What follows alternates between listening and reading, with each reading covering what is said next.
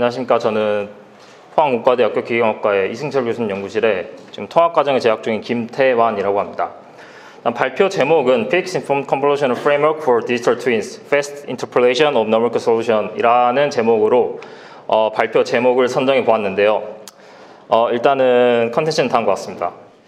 일단 먼저 디지털 트윈이라는 걸 일단 제목에 넣어놨는데 일단 디지털 트윈에 대해서 간략하게 이제 설명을 드리자면은 디지털 트윈이라고 하는 건 이제 많은 industry 쪽에서 이제 실제 있는 어떠한 시스템이나 device를 가상 환경으로 옮겨와서 그 가상 환경에서 원하는 컨디션이나 아니면은 뭐 최적 조건들을 찾고자 어떤 이제 하고자 하는 이제 기술들을 총칭한다라고 저는 생각을 하는데요. 이 디지털 트윈이라고 하는 것에 하는 것은 크게 세 가지로 구성되어 있다고 생각합니다. 하나는 physical 시스템, 이제 현실에 있는 physical 시스템, 그리고 그 이제 가상 세계에 있는 virtual 모델, 그리고 그 사이에서의 어떠한 정보통신, 뭐 그런 기술들이 이제 집약된 용어라고 생각을 하는데요. 저는 그 중에서도 사실 디지털 트윈의 핵심이라고 하는 것은 virtual 모델이라고 생각을 합니다. 이 virtual 모델에는 이제 뭐 가상 환경, 모델링, 시뮬레이션, 뭐 데이터 analysis 이런 것도 다 중요하지만 저는 가장 중요한 건 결국에는 이제 예, 시뮬레이션이 가장 핵심이라고 생각합니다. 사실 뭐 virtual 모델의 다른 요소들에 대해서는 어느 정도 많이 연구가 된 부분이나 이제 시뮬레이션을 어떻게 할지에 대해서는 아직 연구가 부족하다라고 저는 생각을 합니다. 그래서 시뮬레이션에 대해서 뭐 여러 이제 청중분들이 더 많이 잘 아실 것 같은데 제가 아는 선에서 정리를 해보자면은 어, discrete simulation과 continuous simulation이 있다고 생각합니다. 이제 discrete simulation 같은 경우는 이제 이산 시간에 대해서 특정한 타임, discrete한 타임 간격에서 이제 사건이 발생하고 그런 사건들이 전체 시스템으로 이제 연동돼서 이제 진행이 되는 그러한 시뮬레이션이라 이제 이고요. 이거에 대해서는 뭐 물류 시스템이나 아니면은 manufacturing process 그런 데에서 이제 많이 활용되고 있다고 알고 있습니다.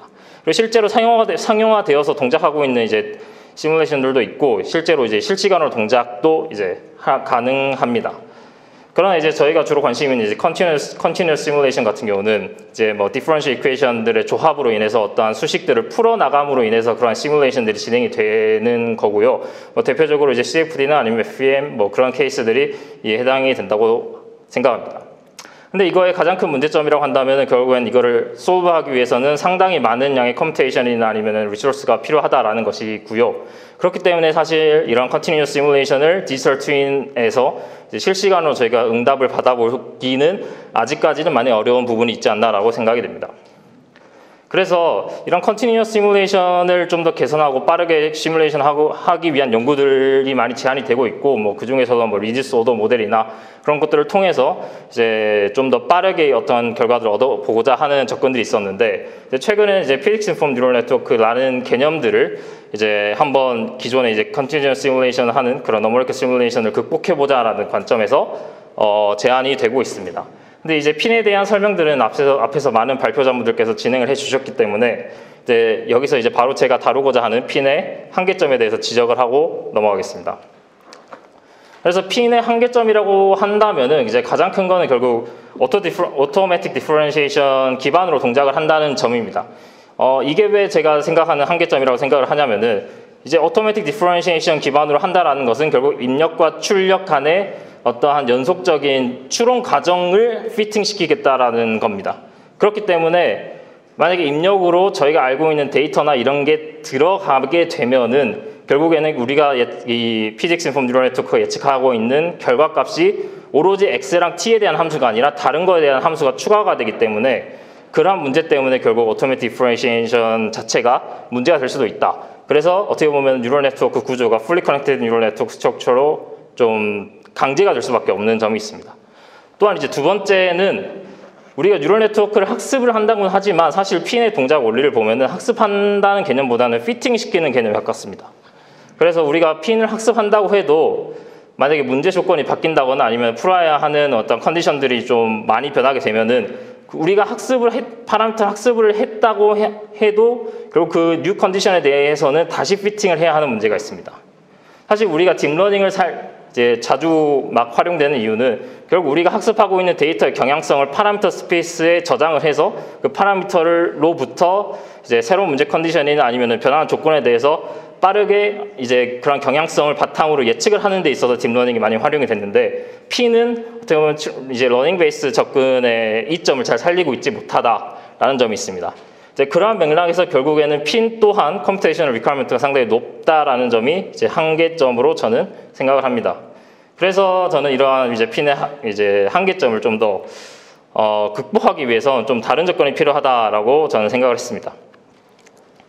그래서 이제 제가 말하고자 하는 거는 어, 우리가 모델을 학습한다라고 하는 거면은 결국에는 learning base 접근으로 어, 이제 가, 그런 걸 다시 한번 고려해 볼 필요가 있다라는 점이고요. 그래서 만약에 우리가 어, 몇 가지에 대한 numerical 시뮬레이션 결과들을 알고 있다면은 그러한 정보들을 최대한 parameter space에 녹여내서 어, 그러한 파라미터들을 이제 어느 정도 가지고 있고 만약에 문제 조건이 변경된다고 했을 때 이제 새로운 컨디션이 주어지면은 그거에 따라서 우리가 이제 학습된 너멀크 솔루션들의 경향성을 바탕으로 한번 이런 새로운 헤드를 이제 논리니어하게 인터플레이션을 해보자 라는 접근을 이제 생각해 보게 되었습니다.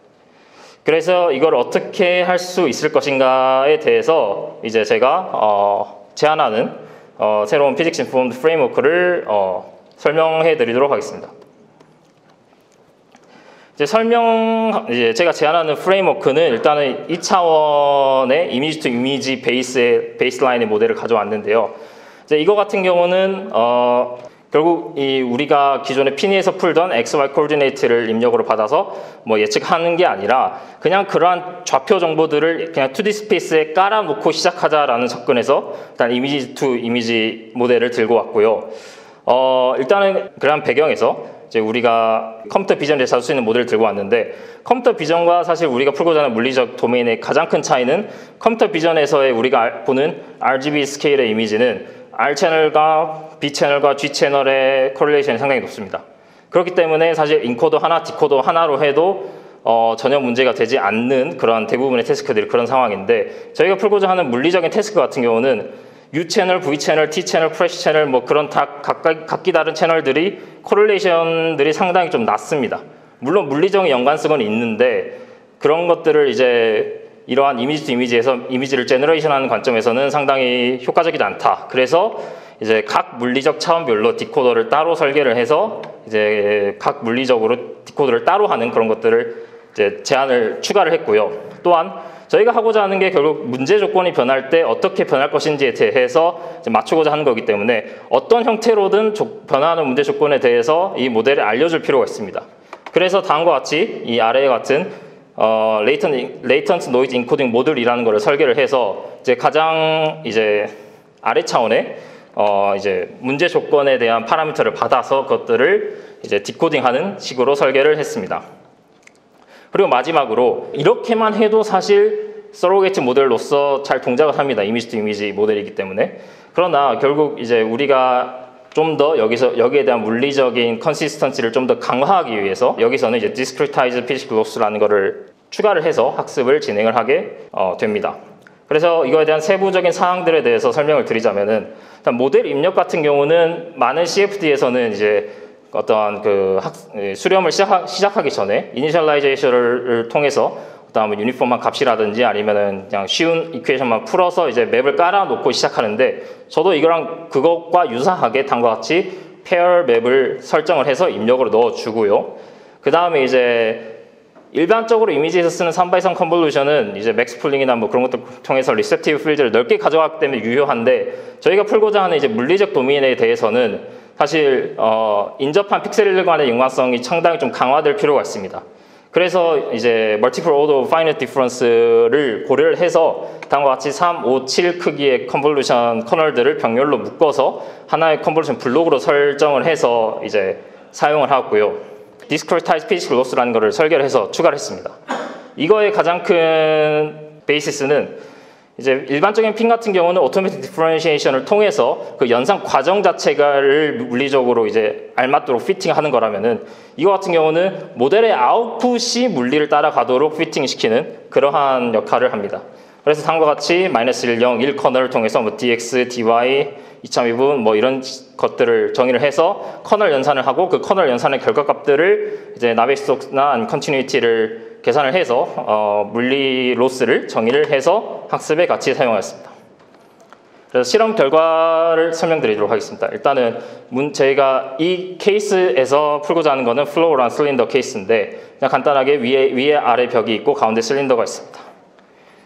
그리고 이제 비교 모델로는 그냥 image to image 모델을 그대로 가져온 U-Net baseline 모델과 이제 유넷에다가 레이터 이제 그 디코더를 분리를 해서 각 물리적으로 따로 decoding하는 그런 proposed method인데 이제 without physics 인 모델과 그리고 제안하는 방법 multi-kernel 블록과 discretized physics loss를 같이 쓴 그런 모델을 함께 어, 비교 모델로 선정하였습니다. 그래서 제가 이제 확인하고자 한 케이스는 이제 of attack, aspect ratio, fluid viscosity인데 이제 케이스를 보시면은 학습은 네 케이스만 이제 numerical simulation solution들을 가져와다가 학습을 하고 세 케이스를 맞추고 이거는 다섯 케이스를 학습해서 이제 네 케이스를 맞추고 여섯 케이스를 가져와서 다섯 케이스를 가져오는 그리고 이제 fluid viscosity 같은 경우는 로그 스케일의 변화까지 한번 확인을 해보았습니다. 그래서 이게 이제 결과 이미지인데요. 첫 번째 라인이 angle of attack, 두 번째가 aspect ratio, 세 번째가 viscosity입니다. 일단 baseline 모델 같은 경우는 전반적으로 좀 생성되는 결과값들이 blurry합니다. 이거 같은 경우는 결국에는 UVC, UVP 채널의 어떤 correlation이 상당히 낮은데 그거를 하나의 디코더로서 decoding을 하다 보니 발생하는 문제다라고 생각이 되고요. 반해서 이제 proposed without physics 같은 경우는 그래도 이제 baseline보다는 낫지만 어, 느 정도는 좀 blurry하게 남아 있다면은 확실히 discretize 결과에 대한 physics를 좀 더 강화함으로써 어, 좀 clean한 상대적으로 clean한 결과들을 확인할 수 있었습니다. 그래서 중간에 스냅샷 결과를 봤을 때 이제 뭐 당연히 앞, 앞서 보여드린 그, 림과 이제 같은 그림들인데 이제 주, 유의하게 볼 만한 점이라고 한다면은 결국 이제 refer 이제 pressure field라고 저는 생각을 하는데요. 이제 viscosity가 0.1인 학습하지 않은 조건에 대해서 이제 모델이 예측하게 했을 때 결과를 보면은 reference solution 같은 경우는 상당히 clean하게 결과가 나오는 반면 이제 baseline 같은 경우는 갑자기 이제 뭐 라인이 갑자기 가 있다든지 뭐 그런 특징들이 관찰이 되고요. 이거 같은 경우는 좀 blurry한 부분이 이제 실린더 앞쪽에 생성이 되는 모습을 확인할 수 있었습니다. 이에 반해 이제 physics를 강화함으로써 전반적으로 pressure field에 대한 연속성이나 뭐 이런 것들이 좀 더 물리적으로 일관되게 결과가 나왔다라고 확인을 할 수가 있었습니다. 그래서 실제로 이제 cross section에 대한 profile을 plot을 해봤을 때 U 채널이나 U 채널에 대해서는 뭐 유동이 dominant하기 때문에 어느 정도는 잘 경향성을 잘 따라가지만 이제 V 채널이나 프레시 필드 같은 경우에 대해서는 이제 ground truth를 이제 비교 모델을 잘 따라가지 못하는 것들을 확인할 수가 있습니다. 이제 그거에 대한 correlation도 계산을 해 보면은 이제 확실히 차이가 나는 것을 확인할 수가 있습니다. 추가적으로 이제 aspect ratio가 다른 2대 3인 케이스에 대해서 봤을 때도 UV는 잘 따라가도 이제 pressure field의 변화에 대해서는 좀 이제 surrogate 그냥 일반적인 baseline 모델이나 아니면은 proposed without physics 모델이 좀 잘 따라지 못하는 모습을 확인할 수가 있었습니다. 그래서 이제 추가적으로 그럼 latent encoding 모듈의 영향을 좀 보기 위해서 이제 결과를 뽑아봤는데요. viscosity의 변화 같은 경우는 이제 형상이 변화가 형상이 변화가 없고 경계 조건의 변화가 없기 때문에 인코더에 들어간 입력의 맵의 입력이 다 똑같습니다. 오로지 latent encoding 모듈에 들어가는 viscosity 그 값만 이제 바꿨을 때 이 latent 차원에서 어떠한 맵들이 생성되는지를 봤는데 전반적으로 latent encoding 모듈이 그 실제 예측해야 하는 맵과 유사한 형태의 노이즈를 잘 생성을 해서 모델에게 어느 정도의 충분한 정보를 제공하고 있다라고 볼 수가 있, 있는 것 같습니다. 그래서 이제 추가적으로 지금까지 했던 거는 하나의 그 조건 변수에 대한 변화들을 관찰을 했었는데 이제 두 개의 조건 변수를 동시에 바꿔봐도 과연 이게 잘 동작하는지를 확인하고자 했습니다. 그래서 다음과 같이 네 케이스에 대해서 학습을 했고 가운데에 대해서 한번 수치적으로 확인을 해봤습니다. 그랬을 때 이제 비교 모델들에 비해서 확실히 mean square error나 아니면은 structure similarity index measure 같은 게 좀 더 나은 모습들을 확인을 할 수가 있었고요. 그래서 과연 extrapolation도 될까를 생각을 해서 이제 30도, 45도, 60도의 angle of attack을 학습을 하고 이제 거기서 플러스 마이너스 15도 해서 15도, 75도에서의 과연 extrapolation의 케이스를 한번 확인을 해봤습니다. 그렇게 보니 확실히 baseline 모델이나 physics가 없는 모델에 대해서는 이 유동 흐름이나 pressure field에서 거의 물리적으로 나타날 수 없는 그러한 노이즈 뭐 그런 것들 좀 확인이 된다라고 하면은 학습 과정에서 physics를 어느 정도 강화했기 때문에 이제 제안하는 모델이 어느 정도는 좀 더 유사성을 많이 띈다라고 확인을 할 수가 있습니다. 그래서 앞서 introduction에서 digital twin이라고 말을 했기 때문에 과연 이게 실시간으로 잘 동작하는지에 대해서 확인을 해보면은 이제 제가 클릭하면은 그 파라미터가 모델에 입력으로 들어가고 바로 출력이 나오는 모습들을 확인할 수가 있습니다. viscosity도 마찬가지로 이제 클릭하는 위치에 대해서 그 값이 입력으로 들어가고 그에 따라서 바로 바로 이제 학습하지 않은 조건임에도 불구하고 예측을 하는 것을 수행, 어, 확인할 수가 있습니다. 이런 과정들은 이제 모델을 한 번 학습하면은 거의 뭐 1프레임에 100ms 선에서 끝나는데 이 과정을 CFD로 반복한다라고 하면은 거의 한 케이스에 2분 뭐 그 정도씩 뭐 걸렸던 것 같습니다. 그래서 결론입니다. 그래서 이제 제가 제안하고자 하는 거는 결국 기존 P인의 한계점을 어느 정도 좀 개선해보자, 좀 점프업을 해보자라는 배경에서 제안을 했고요. 제가 제안했던 latent noise 모듈이나 아니면 디코더를 분리했던 것들은 어느 정도 물리적인 연관성을 어, 추정하는 데 좀 도움이 됐다라고 볼 수가 있습니다. 또한 이제 physics를 강화함으로써 결과의 연속성이라든지 그런 것들이 좀 더 강화가 됐고요. 또한 이제 실시간으로 어느 정도 동작한다는 걸 확인했기 때문에 이제 어느 정도 digital twin에 활용될 수 있는 potential도 존재, 존재를 한다라고 말씀드릴 수 있을 것 같습니다. 네, 감사합니다.